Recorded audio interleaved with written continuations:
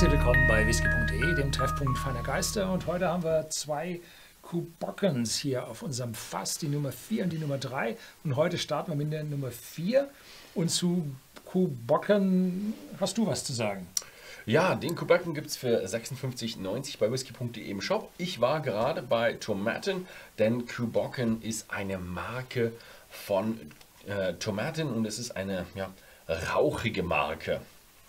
Äh, Tomaten ist eine, eine wunderschöne Brennerei, äh, hat extrem viel äh, Gebäude noch, die zur Brennerei gehören.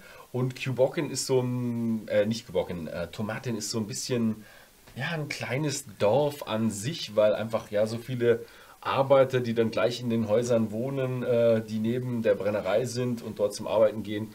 Und ja, wunderschön, kleiner Fluss trennt die Brennerei von Ja, den ich Häusern. war ein paar Jahre vor dir da und ich habe sie ganz anders in Erinnerung. Ich habe sie als Monster-Distillerie in Erinnerung mit 23 Brennblasen, Ja. zwei Reihen bis zum Horizont in einer riesen Halle äh, und damals die ehemals größte Malt-Whisky-Brennerei Schottlands und ein Monster.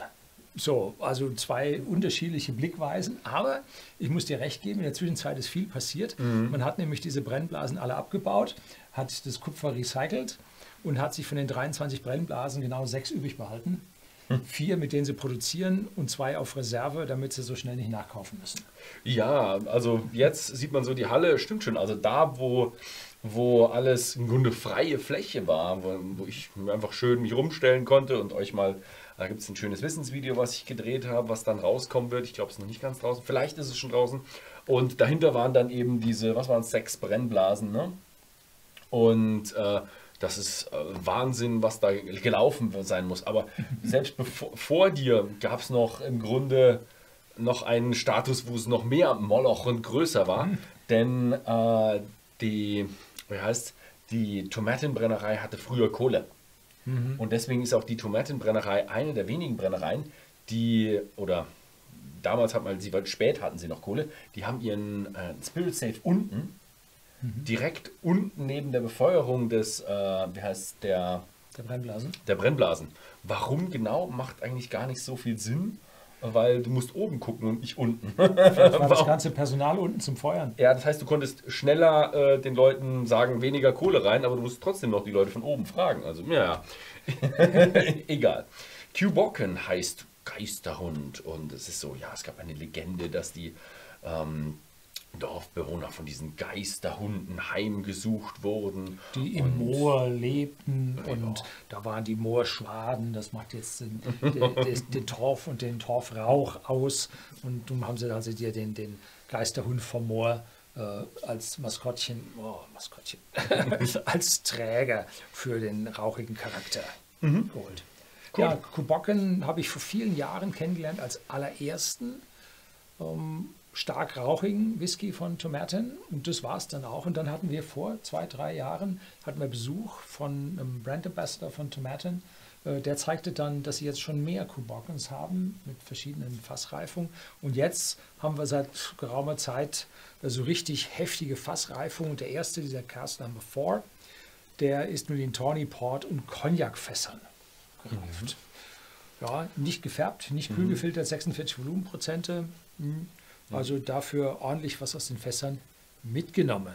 Ja, es ist äh, der Tony Paul, äh, der Kubocken Creation Nummer 4 und da bei der Creation Serie geht es, so wie es aussieht, immer um sehr interessante Fässer, aber auch was Schönes ist immer so Mischung aus verschiedenen interessanten Fässern.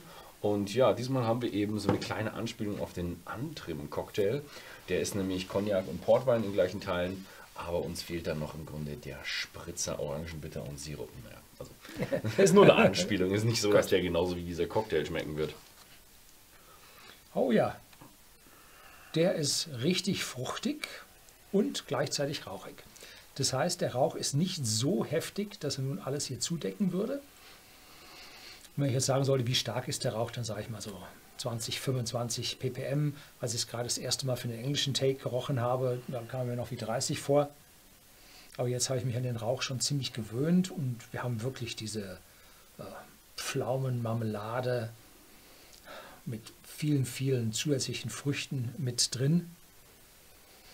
Pfirsiche, gegrillter Pfirsich heißt es offiziell. Ja, und darüber eine Rauchnote, die jetzt nicht so, ich sag mal, stinkig ist, sondern angenehm aromatisch im Rauch ist und eine schöne zusätzliche Komplexität ergibt. Ja. Ja, also ich finde ihn auch wunderschön. Er riecht so ein bisschen, als hätte irgendjemand an seinem Pflaumenbaum alle Pflaumen gepflückt, noch ein bisschen Waldfrüchte dazu und wird sie dann über dem Lagerfeuer ein Kompott draus machen, wobei das Lagerfeuer stark rauchend ist. Also so fühlt sich ein bisschen an. Jetzt wird es wieder ein bisschen rauchiger. Das ist so eine, so eine rauchige Pflaumenmarmelade mit Kompott und auch noch ein bisschen so Gewürze mit drin. So. Aber es ist ein wunderschöner Lagerfeuerrauch. Also nicht irgendwo sowas Phenolisches oder Medizinisches, sondern ein wunderschöner Lagerfeuerrauch. Cheers. Tschüss.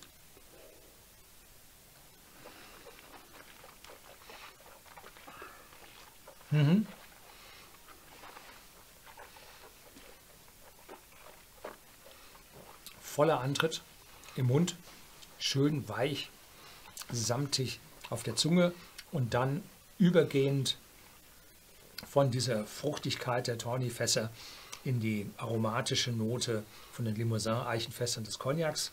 Die ja, spezielle französische Eiche ist die Limousin-Eiche, die hier einen speziellen aromatischen Geschmack abgibt. Ich muss sagen, Tawny Port, wow, einer meiner liebsten. Cognac, nicht so mein Ding. Ähm, Und hier gemeinsam gibt es doch eine schöne Experience, eine schöne äh, Entwicklung des Whiskys bis hinein in den ja, Abgang, wo sich die Cognac-Fässer dann ein bisschen stärker zeigen. Wunderschöner Geschmack, hat mich auch wahnsinnig abgelenkt gerade, dass ich gerade mit den Kameras nicht nachkomme. Mm. Er ist so rauchig und rund. Also ich finde ihn schön ausgeglichen. Er hat nicht so eine riesige Komplexität bis jetzt, aber er hat so die, die, die Intensität an Rauch und Fruchtigkeit, die gibt sich eine richtig schöne Balance. Und noch gepaart mit so ein bisschen eine Würzigkeit. Finde ich richtig klasse. Also, Ja, der Whisky hat keine Altersangabe. Die Rauchigkeit würde jetzt auch eine eventuelle metallische Jugend ziemlich überdecken. Ich sehe aber die Jugend nicht, sodass ich schon von sieben, acht Jahren Alter ausgehe. Und dann dazu diese Fassauswahl, das bringt schon eine Komplexität zusammen, sodass aus meiner Sicht mit dem nicht gefärbt, nicht kühl gefiltert, 46 Volumenprozente, die Fässer, dass dann die 56,90 als Preis schon in Ordnung gehen. Ja, mit der Qualität zusammen passt es. Ja, passt. Schönes Teil. Also kann man machen. Ich hätte ihn jetzt eigentlich auch bedeutend rauchiger erwartet. Der alte war auch rauchiger, wenn ich mich so daran erinnere. Ich glaube, der alte war es auch. Kann auch ein bisschen Subjektivität sein, ne? man weiß es nicht. Schauen wir mal.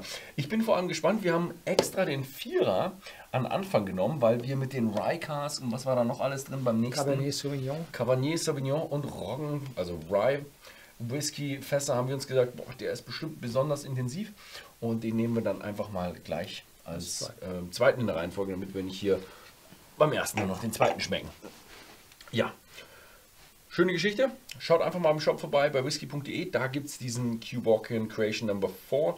Gibt natürlich auch die anderen noch und ganz viele andere Q-Bocken. Guckt einfach mal durch. Q-Bocken ist wirklich eine interessante Marke. Ja, das war's. Ansonsten vielen Dank fürs Zusehen und bis zum nächsten Mal.